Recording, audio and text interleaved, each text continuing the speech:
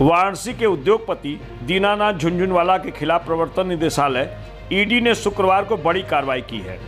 खबर है कि वाराणसी के तेल कारोबारी के नाटी इमली आवास पर सात राज्यों के दस ठिकानों पर सुबह सात बजे से छापेमारी की कार्रवाई की जा रही है।